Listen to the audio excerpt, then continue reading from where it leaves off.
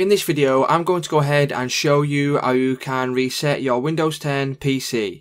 For more tutorials, make sure you subscribe, and let's get right into it. So this is a super simple thing to do, guys. If you want to go ahead and reset your PC because it's slow or anything like that, I'm going to show you how to do that in today's video. So the first thing you want to go ahead and do is come to the Start menu in the bottom left.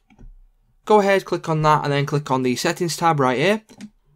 And then once you've clicked on the settings tab, you'll be brought to this section here and you want to go ahead and find update and security. So go ahead, click on update and security, which is right here. And then once you've clicked on that, what you will need to do, you will need to come down to recovery on the left hand bar here. Go ahead, select recovery, and then right there at the top, as you can see, reset this PC. If your PC isn't running well, resetting it might help. This lets you choose whether you keep your personal files or remove them and then reinstall Windows. So if you want to go ahead and reset your PC, go ahead and click get started. And then you'll get this pop up here. So you've got a couple of options here. Keep my files, so remove all apps settings, but keeps your personal files.